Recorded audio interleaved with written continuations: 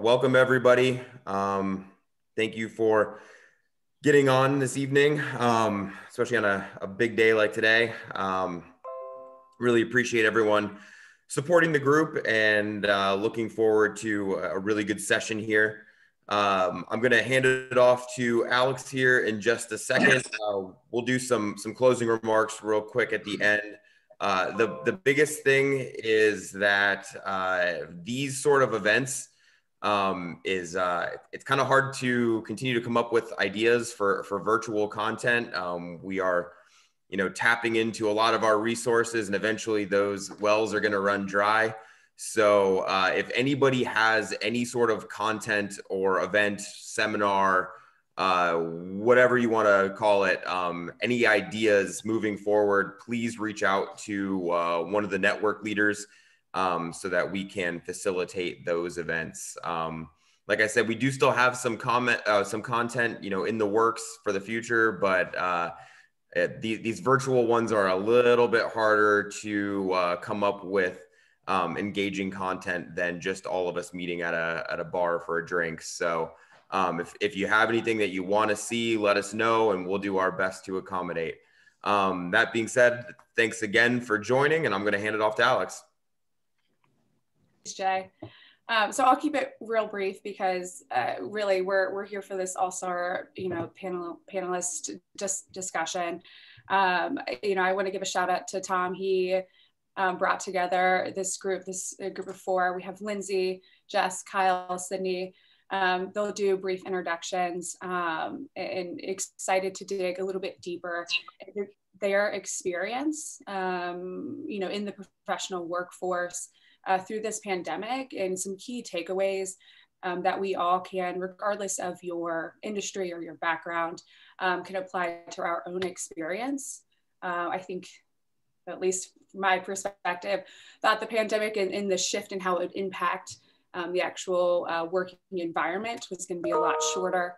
Uh, we're now into 2021 and it continues uh, for a lot of people um, to be a very unique uh, professional experience. So I encourage you throughout this uh, discussion, if you have any questions, um, you can put them in the chat uh, and we will, uh, you know, we can answer them as we go. And then we'll also have a, a section at the end um, dedicated to any other lingering questions, um, you know, that, you know, might not have been addressed um, during the conversation.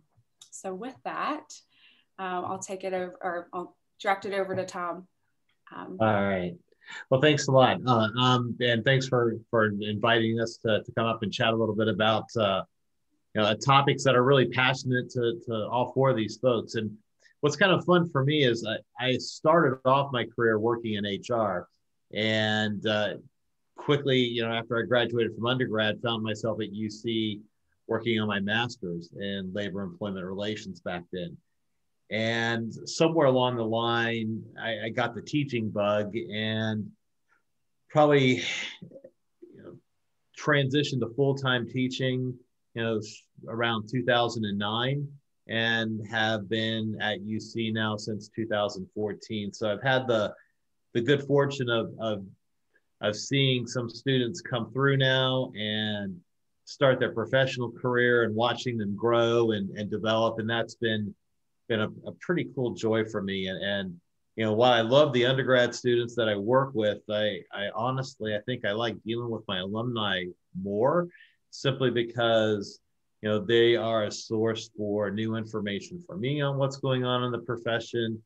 And uh, it's just kind of, they're, they're, they're in a, in a bizarre kind of way. They're kind of like my kids. They, they're, they're, they're part of me and, and I take a lot of joy in watching them go. And, and I've got four of, uh, for the people I'm probably most proud of in the world and watching them what they do. So uh, with that, um, I'll just kind of we'll, we'll kind of quickly go around. And I'll call them out, and they'll, they'll just give you a quick who they are, a little bit about their path to graduation, because I don't think uh, any of them, but maybe one, were your traditional four-year undergrad and, and out. So let's start with Kyle. So path to graduation, where are you now, and a brief description of your role. All right, so good, good afternoon, everyone. I'm Kyle Cook. Um, my path to graduation is I started my working life in the US Navy, uh, where I served for five years um, as a supply supervisor.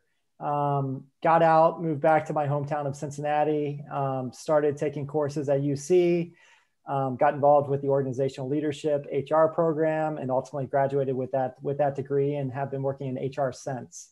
Um, as of la- last October, I'm with McDonald's Corporation um, as an HR supervisor for their headquarters.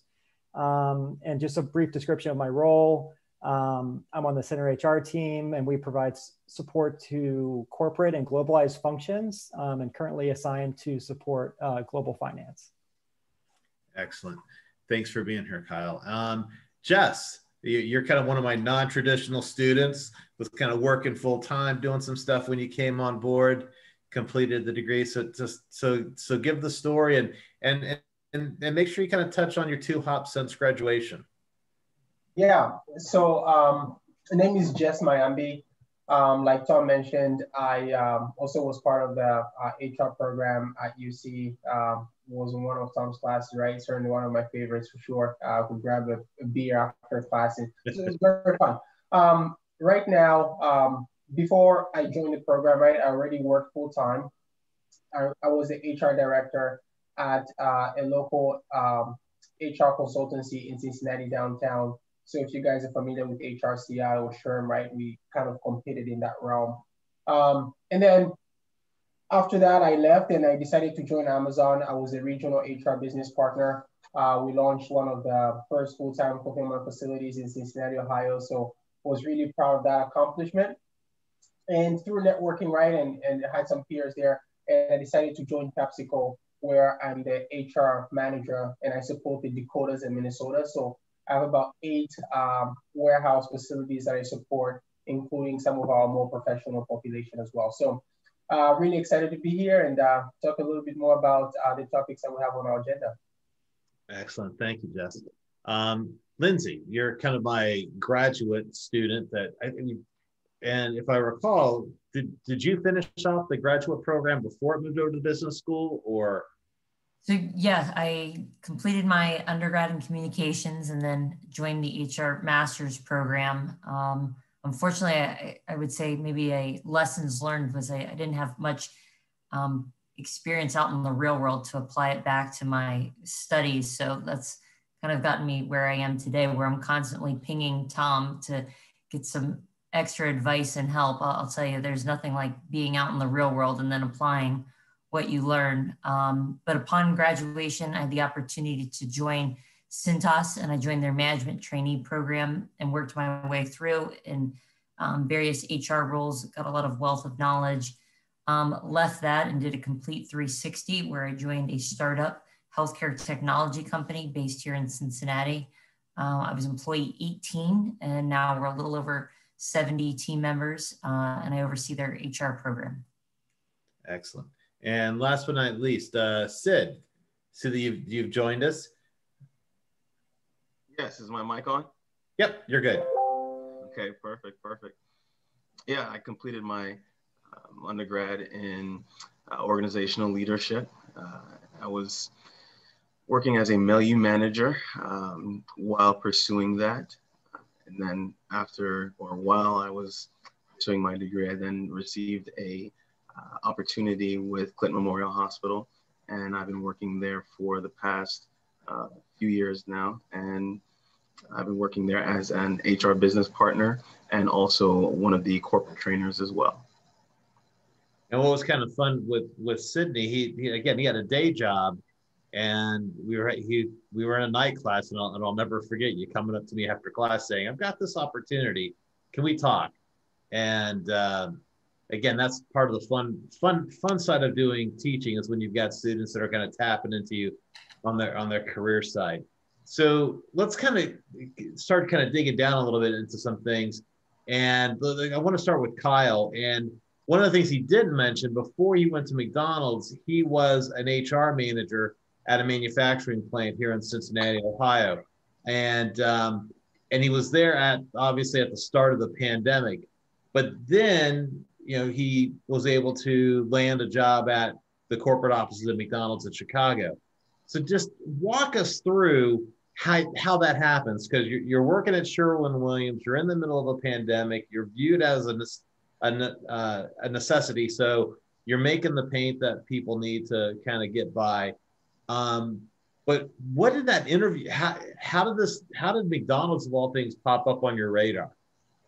Yeah, I'd say um, networking, networking, networking. Right, the importance of that. I, I stayed in touch with a previous coworker at a previous organization, and that's that's how I found out about the position. Um, you know, and I'd say just a piece of advice. You know, what, whatever job you're in, just make sure the quality of your work is such that you would want somebody to remember you by right? Because you never know when you're going to cross paths again and, and need a recommendation. So heard about the opportunity, went for it, um, got a good recommendation, uh, went through the in- interview process. It was a little bit different um, going through the whole process virtually, right? And never meeting anybody in, through the process. But, you know, just a bit of advice, I'd say, just treat the interviewing process the same as you would for an inter- in-person interview. Um, you know, make sure you're on time you know, in a quiet place with a professional kind of setting, um, and just prepare some targeted uh, questions um, for the interviewers, and, and ensure that you, you, that you follow up with all the inter- interviewers with a with a personalized note. Um, so that's sort of you know just stuck with the basics, and um, you know got got the offer, and really couldn't uh, couldn't pass it up from there. I mean, the other thing that he he's he's he's a little bit understating the, he the first job out of college was working for a uh, a company that's going to be putting a shared services center in Cincinnati, and about was it about a year and a half into it, they changed their mind on you. Yep, they they ended up offshoring the operations, so that was that was pretty tough to sort of build build up a workforce and then sort of go in the op- opposite direction. But that to that point, uh, sometimes when these things happen to us, we let the bitterness of our feelings take hold, and maybe that quality of our work starts to go down. And you know, when, when Kyle mentioned that he had a prior networking contact, that contact was from the shared services company, right? Right. Yep. So the company was actually based out of Chicago. Um, so got to work with a lot of folks that were head based, you know, head headquartered in Chicago, and um, one of those individuals had moved on to McDonald's, and you know, just through staying in touch, you know, learned about the the opportunity. And again, so and and what was what's your main professional networking tool that you're staying in touch with people on?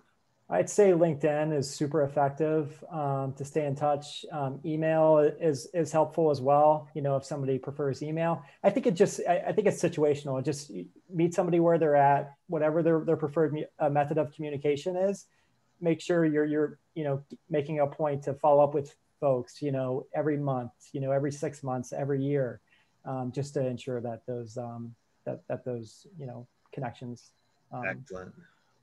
All right, so let's let's slide over to Sydney. Um, yeah, the, the one thing I would tell you about Sydney is he's kind of our Renaissance man of uh, of, of of my group here. Uh, I know I know for a fact that he's a deep thinker. He he's the guy that you love to just kind of have a conversation with around. It, could be politics, it could be sports, it could be music, it could be investing, and, and he can talk intelligently on all of these subjects. And um, so he's a deep thinker. And again, you know, the other thing I, I, I didn't mention, he also does a reggae band on the side. So he, he's got all kinds of cool stuff going. But again, I just, I'll never forget when you came to us with that, you know, in, in that law class and you, you talked about us that, that opportunity. But again, go back over and just chat a bit about you're doing a job and when your HR person left the company, because your your contact at Clinton Memorial Hospital was a, a, former HR person where you were at, right? And and again, you you downplay what she said to you, but I'll I you know my memory's starting to shake as I get older. I remember what you told me she told you when she left. What did she tell you when she left that she was going to do? you have a pretty good memory, Tom. You have a pretty good memory. She said she was so, coming for you, right? Yeah, she said she, she was, was, coming, coming back for you. Yeah. So, so how does that happen? How you know? Because you weren't doing HR work at that time. And right. So, so as an HR specialist. So at the time, I was working for a behavioral health hospital, and like I said, I was working as a um, as a milieu manager and also a corporate instructor there as well. And I developed a relationship with the CEOs and a lot of the corporate exec members that were in the parent hospitals as well. Um, such a relationship that I was traveling to different hospitals across the country um, as they were opening up, as they were opening different hospitals. I would be responsible for training the staff before they would get started.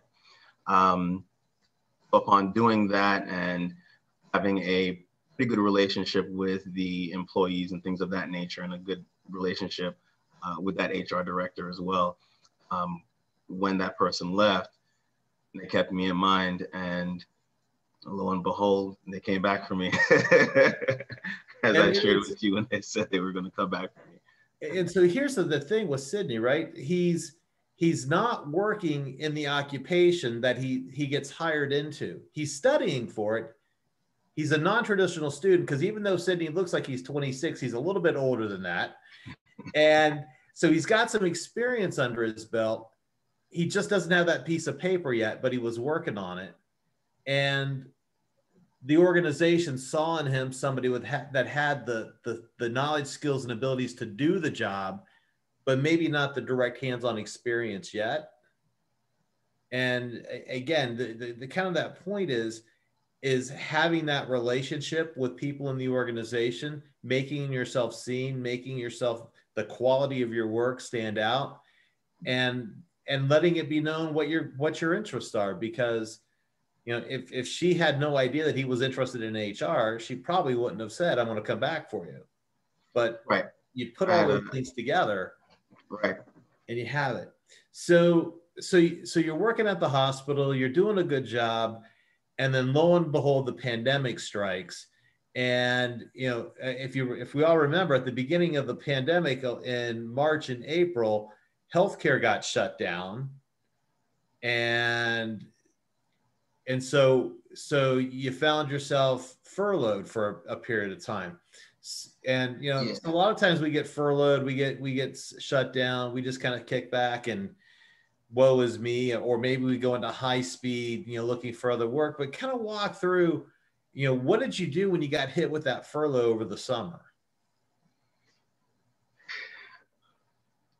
so when i got hit with the with the furlough um it was it was a bit of a shock because i thought i was in an industry that uh, as they say, would be recession proof, um, and that you wouldn't have to worry about getting furloughed or laid off. well, I shouldn't say laid off, but you know, um, it's recession proof.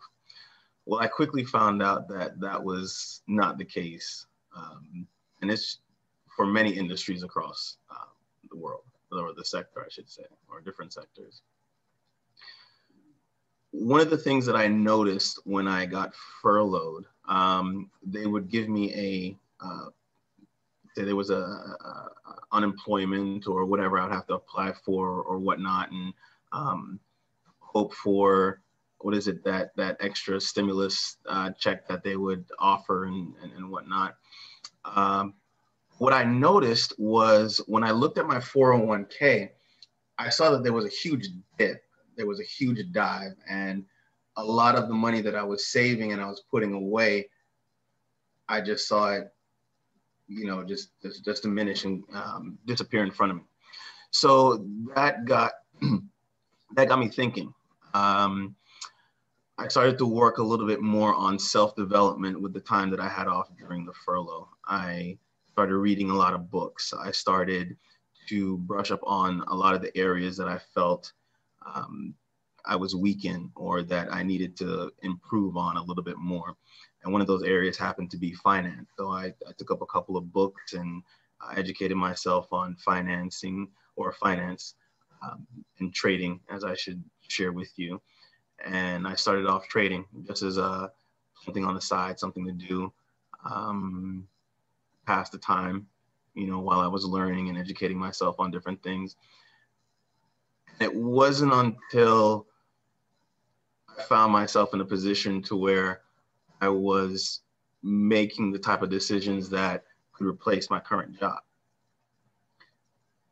once that happened for me, then I started speaking with some of my family members as to why am I going back to work?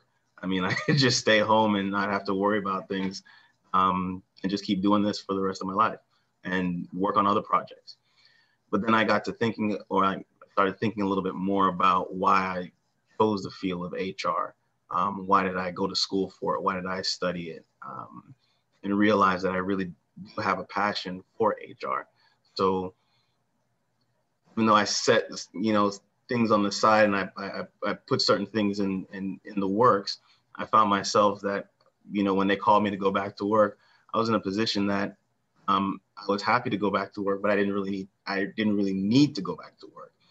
So that changed my perspective when I was working to now I really enjoy my job. Now, whenever they're asking me to do things or I come across situations or um, you know people need help or whatnot, I, I really feel the I hate to sound cliche, you know, the joy of of working or or, or working with people. Uh, I think Kyle kind of said it a little bit best when he said networking, networking, networking. Um, there's something in that that you just can't, you know, find when you're sitting behind a computer screen, you know, for a few hours or whatever it is. Um, whether you're talking to people about sports, whether you're talking to people about uh, their day-to-day lives, whether you're talking to people about just things in general, elevator conversations, how to improve their lives, how to um, just how to have fun, um, different things. So I find myself more so on the, uh, I guess, fun side of HR a little bit more. Um, and just want to be able to enjoy it with people a little bit more. Cool. So that's what I found myself doing during the, the pandemic. Um, working out, kind of do a little uh, self development in that area. But I must admit, when I went back to the office, I did pick up a few pounds. So um, I do have to get back, um, you know, to working on that portion of it. But other than that, uh, yeah, just self development, uh, working on just improving any area that I felt uh, could be of benefit. Excellent. Thanks, man. And uh, the, the other kind of you know brush with greatness, Sydney had a bite of semi-pro football, and he's a he's a great guy to go to a football game because he can explain to me the, the things that I may not be picking up on. I said, now watch this over here. So it's always fun. So, so Jess, you're one of those guys that I, I knew from day one. If Kyle says networking, networking, you are a power networker, and um, and I saw that in you the first day as a student. I saw that when you went to the HR conference with us in Vegas. Um, but so, talk to us a little bit more about how did that Amazon job fall in your lap, and then after that, how did you make that transition? How did PepsiCo and, and again, you're a Cincy guy. How do you? Uh, you're in freaking North Dakota now. How do you go from Cincy to North Dakota and and, and Pepsi? So so talk to us about Amazon first. Yeah, my family thought I was crazy when I told them I'm moving to North Dakota. By the way, I was like, "Wait, what?" Um, but I mean, how I like to look at this, how I, I I like to think through this is when I was still, I think I was, I still worked as the HR director at uh, at HCI, right, before I joined Amazon. And we're a consulting agency, right? So I got to meet a lot of, you know, work with a lot of HR professionals, right, from a consultative uh, capacity. And, you know, it could be anybody from Procter & Gamble, Google, Facebook, what have you, right? All these folks that I got to mingle with. And a lot of the time, right, hey, I'll add you on LinkedIn and we'll share emails and we'll share contact information and what have you. And you know, when I think about it, it's one of those things where I don't think I've ever got a job in which I didn't have pre-existing relationships with the individual that you know was bringing me on board. So it's been that powerful for me, right? So um, I was fully gainfully employed, if you will, and really loved what I do. Uh, but I'd worked with some folks from Amazon, um, and you know, one of the guys had reached out to me. This is somebody, you know, I, I'm a huge UFC fan. I watch fights and, and, and I really love the UFC. And, you know, every time we'll go on Facebook and we'll go back and forth, hey, you know, my guy beat your guy and what have you. And he would reach out to me when he needed some HR advice or if he's working on a project, doesn't know how to necessarily go about it. And, you know, he said, hey, Amazon is launching a facility in Cincinnati, right? This would be the first, uh, you know, fulfill logistics, uh, full-time logistics center. And he said, it's going to be very challenging. Are you up for it? I thought, of course, right? Who says no to Amazon, right?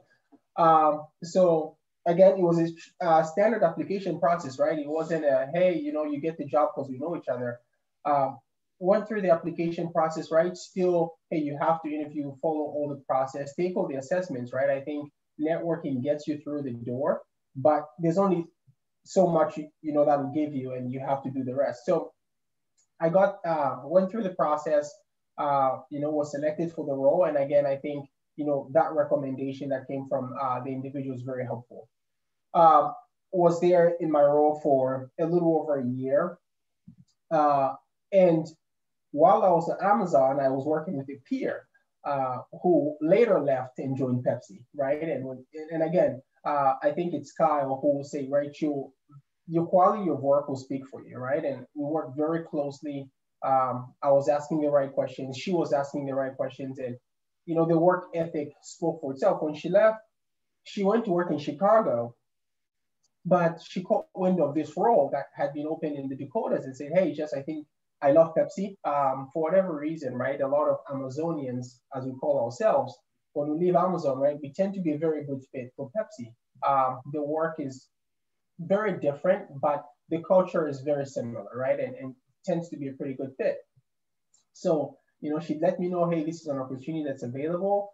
Um, and if I'd be interested. And I was obviously, I'm always opening, I'm always open to listening to what's out there, right? You might not always be interested in making the move, but it doesn't hurt to take a listen. So um, I started engaging in some of those conversations and uh, threw my name in the hat and ended up uh, getting the job, right? So I had to relocate myself and my family to the Dakotas.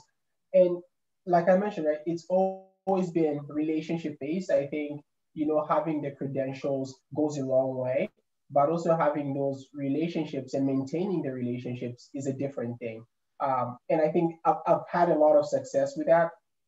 Now, obviously, right, you're expected to execute to the level that you're hired into, but I think that certainly networking has been a major, um, a major lever, if you will, right, that I've had to pull on and, and certainly continue to advance in my career. And if and anytime, and, and Tom, you probably know this, right? When I was in class, you know, a lot of the time I'll be sitting with my peers and I'm always watching for who would be a good hire, right? I'm, I'm in HR, my eyes are kind of always set to be that way.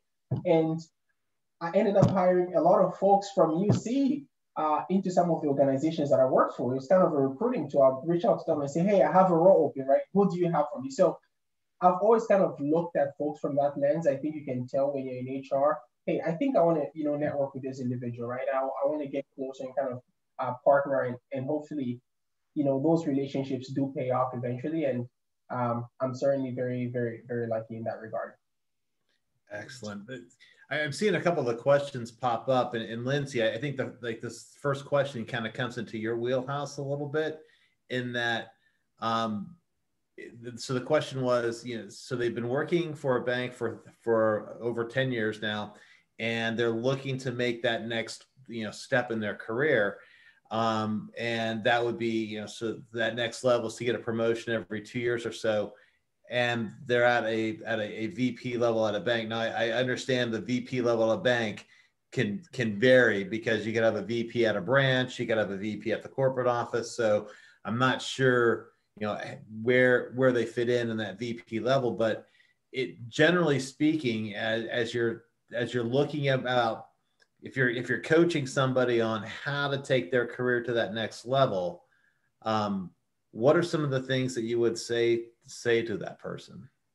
Yeah and, and you know tom when you constructed this message or this uh, question to me earlier um, i think you also preface it with you know before you try to leave right? Or before you leave how you get that promotion. And honestly guys nine times out of ten that's really the the way that it happens right? You have to almost threaten to leave in order for, for then a promotion or an opportunity to open up.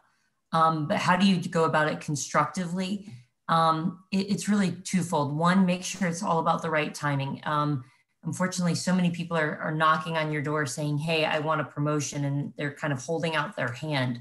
Well, do those types of things around uh, performance reviews around yearly anniversaries, um, at year end, you know, or if a big project has been completed and, and then you can really show the value that you added. But in doing so, you also have the data, right? You have to be able to show why that um, whatever this promotion, whether it's title, whether it's money, whether it's more direct reports, more responsibility, really come with what it is, A, that you're asking for, and B, why it would not only benefit you as the individual, but also the company. Um, this is, you know, it has to be good for both parties. And nine times out of 10, um, you know, again, it takes you saying, hey, I've been offered a role somewhere else, but try to be forthcoming about saying, hey, I don't want to look elsewhere for my next career move. I would like to do it with this company, but I see it as being X, Y, and Z. And, and I guess I would kind of add on that is being realistic, being realistic about your own career assessment. Right. And your and the opportunities that are within the organization. Are you at an organization that truly values you? Meaning, and, and how do you know that they value you? Well, part of that would be you're hearing it from your boss, you're hearing it from other senior people in the organization that value your work. You're seeing it in that you are getting a shot at you know prime projects at work. And you know those would be some signs that they, they value you. Unfortunately in a lot of companies we do a terrible job of identifying talent and then saying to that talent okay he, here's a 10% 15% pay raise unfortunately for most of us to see that kind of increase in the double digits, it winds up being making a move or threatening a move. Mm-hmm. Um, the other thing to keep in mind, you know, sometimes you, I've got another another alumni that I'm dealing with, and kind of, you know, he, he made the move, you know, got the promotion that he was looking for, but then once he got there, they changed the rules on him. They changed the deal. So we want you to do this. Once he got there, they said, well, it's not going to be this, it's going to be this. And that's not what he wanted to do. And the good news for this guy is he's done a good job in preparing for life. So he's he socked money back. So in a, in a worst case scenario, he could go off work for six months because he's he's got that he, he's one of those that five percenters that has that six month disaster money put back. And, you know, that's kind of where Sid's kind of saying, you know, I, I'm doing okay over here. So when you've got that security blanket, I guess, you can be a little bit more assertive in, in your moves and things that you want to do. Um, but unfortunately, again, in organizations, we, we just do a terrible job identifying, you know, those kind of moves for people. And that that's, and, and you know any one of you for it I mean have you seen organizations do a good job identifying and then and make internally making those big moves without the threat to move i mean it, it just doesn't happen all that often yeah and tom if you allow me to chime in right yeah, no. In, in some cases right where you, you're looking to make that big move sometimes you need to move that's what it comes down to um, in some cases, right, you can work yourself up to a certain level and you cap out at the organization, right? Either you have blockers that have been in role and don't have the intention to leave until they retire, right? And that's the position you're gunning for. You know, that might be a hindrance. And in some cases, there is opportunity outside the organization, right? And if you look at the data, a lot of times, right, folks, if you're within the same organization, right, you can continue to increase your income by in most cases, right, the averages are around 2%. In some organizations, a little bit more than that, three to four, 5% annually. But the probability of you gaining 20, 30%, right, is much greater if you do leave that organization, right, and get into that next level. So I'm a huge advocate for if you're not making traction and you have a lot of tenure and experience in your role, maybe it's time to consider other opportunities, right? So in some cases, the grass is green on the other side, but you know that's not always uh, the truth, right? Especially when in the midst of a pandemic, right? A lot of folks are afraid to rattle the boat or take chances. But, you know, I've, I've personally had good success taking those chances, right? Hey, I'm going to leave Cincinnati, right, with all my comforts and family, and I'm going to go to North Dakota, right? That's not the most, you know, um, most people would consider that unwise, right? Especially given that you're going into the unknown in the midst of a pandemic. But some of those, taking those chances, I think can be very rewarding. And I tend to say, hey, move if you have to move. If you've tried everything that needs to be tried or have experienced everything, try to get out of your own way and try something different. Yeah, one of the things I would throw out there is eh, at, at, in, in, in the organizational leadership talent development area, one of the things that we've started is a as an initiative called HR Succeeds. And one of the elements of that is we pair students who are interested in having a mentor with HR professionals in the field. And so each semester, the student gets a chance to meet a new HR professional, develop a relationship, and the good news for our students is that is now starting to plant the seeds for internships, job opportunities once they come out. now, the, the reason I do that mentoring program is because of Kyle. When Kyle was a student of mine, he was again a, a power network. He would he would develop relationships, meet people, talk to us. So, and Ariel is, is had had put out a question about you know, how do you recommend, you know, reaching out to that network? And she said, I think she said that, you know, start the person, she started to feel a little bit discouraged because she feels like she's got a decent sized network, but when she reaches out, she walks away feeling that, you know, they're not really all that helpful for her.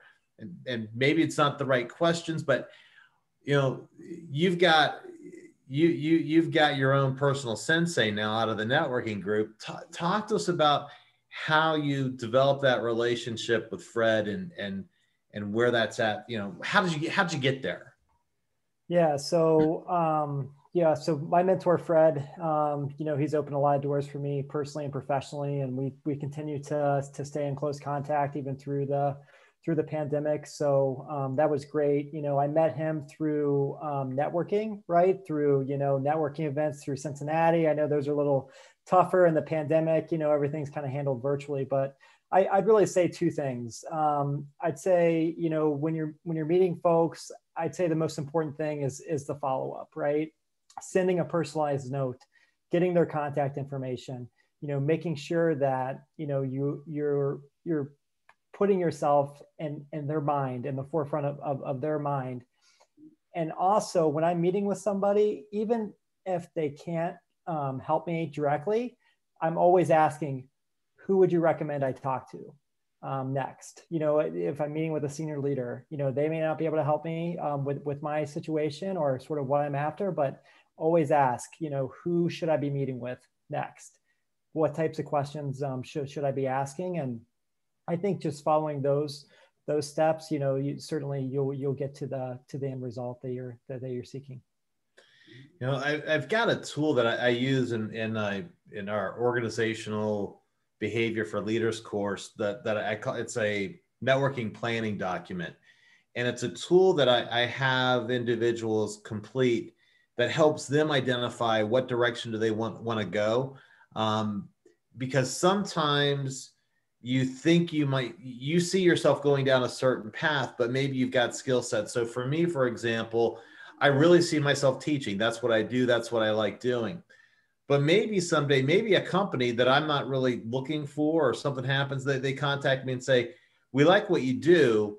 Would you be willing to be an internal development consultant for us, where you come in and work with?" So that would be an example of I'm not even looking for that role. I'm not even aware that role might exist, and yet those roles may be out there that might be a really good fit for me and and so part of this this networking is really understanding you know what all is out there that you might be a good fit for um, there was a, a, book that we read or read a, a year or so ago called you know, my useless liberal arts degree. And you know so many people want to oh ah, it's a liberal arts degree it's not going to help you. But the reality is the skills that you develop in this degree can open up a, a, wealth of windows for you to and, and, doors that you can get into. But it, it's it's a matter of trying to find those and and know who you are and starting to develop those relationships. And and and if and if you I had somebody I was working with last night said, "Well, I'm trying to contact this guy and and he's not responding to me." Well, the the guy she's reaching out to is like an apex of I mean, if it was like a predator, this guy is like the apex predator of networking. He is at the top of the game. And so she's going to like the, the most connected networking person around. He's like a he's a VP of a corporation. And he his LinkedIn probably has over 10,000 people. and so, but she's like, why won't he respond to me? You're one of 10,000 people that's touching this guy. He he's not going to get back to you tomorrow. And so sometimes it's it's a matter of being there in the right place at the right time and being willing to uh, make that move move. So Kyle, um, so now that you made that move to Chicago, and I, I remember the, the last time we, we kind of talked, um, you were having some virtual networking. So how's that working for you with uh, connecting with your team virtually and because uh, you're still in Cincy, right? You haven't made the, the move officially to Chicago. Right. So yeah, it's been all virtual up to this point. Um, I'd say McDonald's does a good job of like a structured onboarding plan. So they have like have 11 week structured onboarding as who you're, who you're supposed to be meeting with, sort of like what um, are your objectives at the end of each week. Um, so they, they made it really easy, right, to, to put time on folks' calendars and really identify who you need to be meeting with, you know, initially. Um, so after those initial meet and greets, I'd say it's on you, right, to uh, to to carve out time with these individuals and and and follow up with them, right. So whether it's um, you know connecting on a on a project, right, that there might be some mutual work on, or if it's just you know dropping a note and saying hello um, and and checking in with them just finding ways to, to sort of stay connected with folks um, is, is, is super, super helpful in this, in this virtual environment. Um, we do have opportunity to get together, you know, on Thursdays, some, some days and, and do a virtual happy hour and, um, you know, get to know each other as, as, as individuals um, that way. But uh, again, just, just anything that you can do to sort of find time um, on, on, people's calendar, um, it, will it'll definitely be appreciated by, by them. Sydney, how at the hospital right now? Are you guys in a hiring mode? Um, are you and and you know what what helps you differentiate candidate A from candidate B in these times when you may not be meeting them face to face initially? What are the the things that you're looking for? So we are in a hiring mode. Um, we definitely have vacancies that we need to fill. Um, as far as I'll break it down into sections as far as interviewing process. Um, it all depends on the department leaders, whether or not they're going to want to interview with you face to face or to interview with you virtually. Um, a lot of the times they're looking for someone who is going to be, I, I don't mean to be cliche, um, to be a good fit. Uh, but when I say the word good fit, um, you have to be able to have good the personal skills have to be able to be a good match for the current environment that you're that you're in. Um, we work a lot on cultural diversity. Um, we work a lot on inclusion.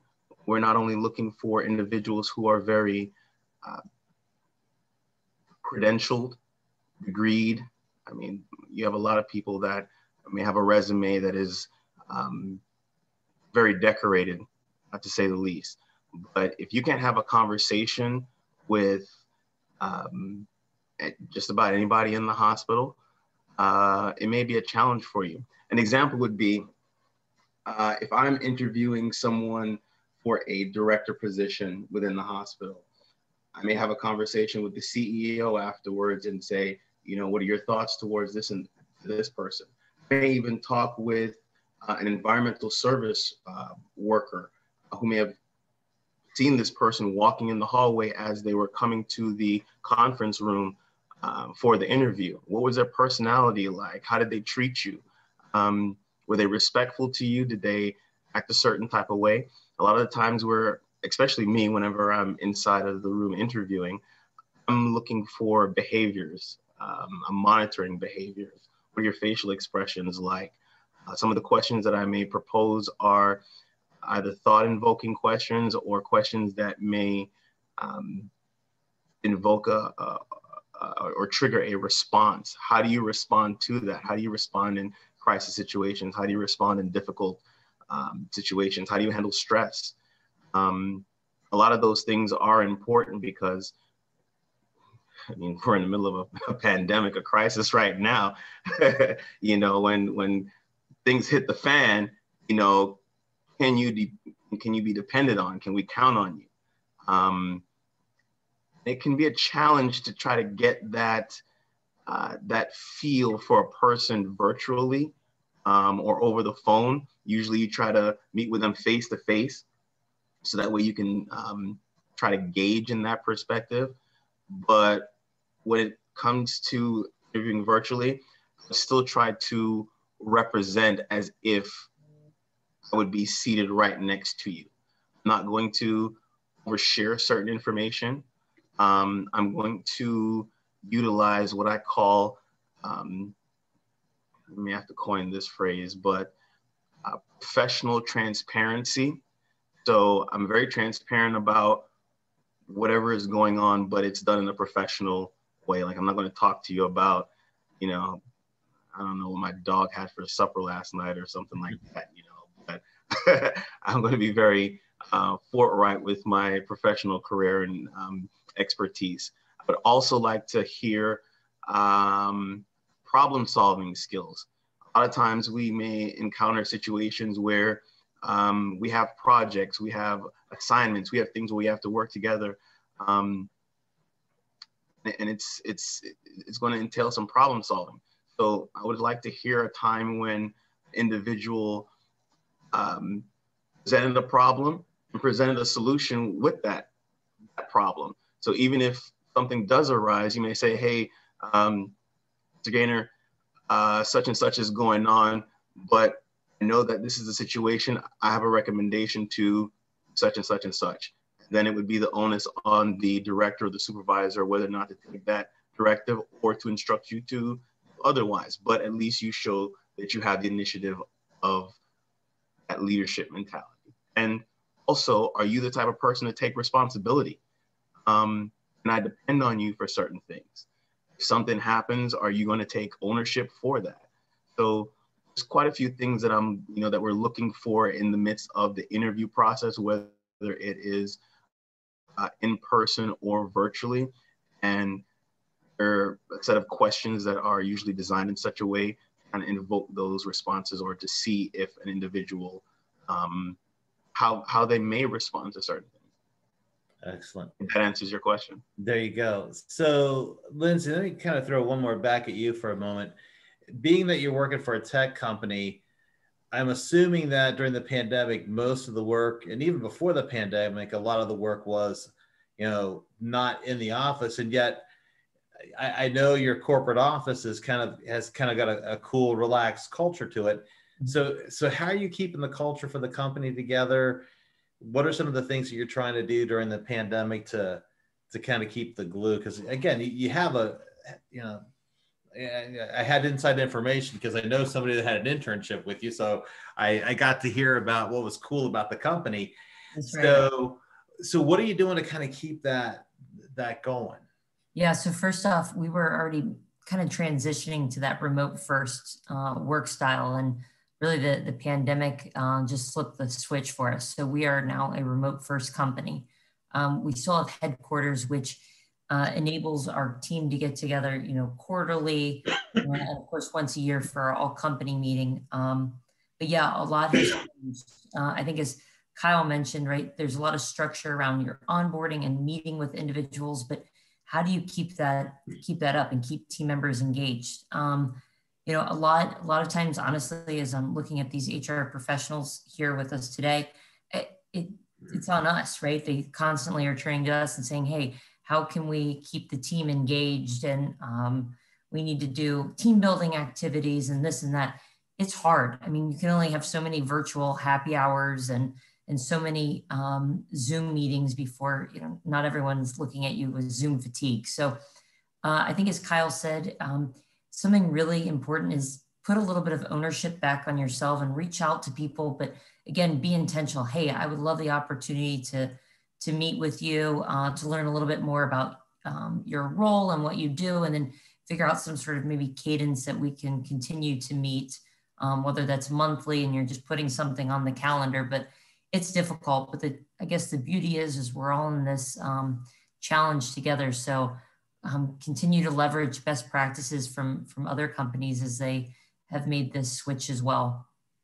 So uh, we I see one more question that kind of popped up, and it, it deals with, you know, what are the trends? What trends have emerged as a result of the pandemic that you see continuing once we get back to normal? So, just real quick, based on your experience, based on what you're seeing, what's one thing that you see happening because of the pandemic that you see continuing yeah, aside from us doing, you know, basically everything remote, interviewing will probably stay that way. It's uh, the ease on both the employer and the the candidate is numerous. I mean, you just quickly can jump on a Zoom meeting at the end of the day versus having that candidate come in and try to work around their they're already uh, if they are already employed, right?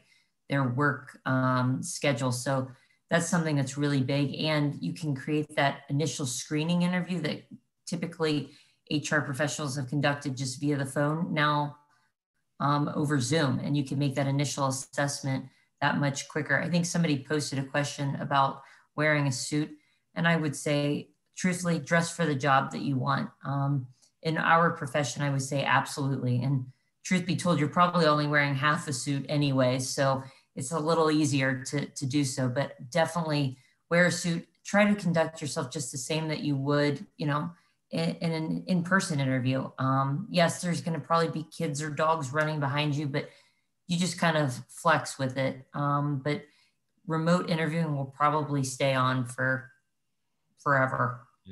What do you think, Jess? What's one trend that you're seeing that, that's going to stick around? One trend that I'm seeing, right, is just that uh, online collaboration, right? I think we're seeing it more than we did prior to the pandemic, right? I think uh, with a lot of organizations. We have, uh, you know, Zoom that we use now for our meetings, right? We have Yammer, we have Teams, uh, you know, a lot of reliance on some of these shared sites where folks can go on and collaborate in real time. So, you know, one of the biggest things that I'm realizing, right, is just the added technology that companies are beginning to kind of lean on and rely on, kind of their day-to-day operations. Whereas historically, hey, let's meet in conference A and, and talk through this and what have you, and, and everybody go do your own thing. We're now saying, hey, let's all just continue to plug in updates on this one side and kind of manage projects that way. So that's been very interesting, even from a hiring perspective, where where historically, right, we didn't have an efficient way of doing kind of knowledge assessments for, hey, how tech savvy are you, right? What's your ability to do X, Y, and Z? Now it's much easier, right? Hey, can you uh, complete this project? And if you can, we can kind of assess you that way. So that's been pretty, uh, that's been a pretty good trend that we're seeing. And again, just the spike in, I think last week, um, PepsiCo started doing um, Zoom facilitation uh, trainings, right? Where a lot of our leaders are getting trained on how to facilitate it and, and present well in some of these online meetings. And it's something that we're adopting from a global perspective. So it's really interesting to see organizations make these huge investments, which are really telling, right? I don't think there's necessarily an appetite to go back to what it was pre-pandemic, where we're having a lot of one-on-one interactions.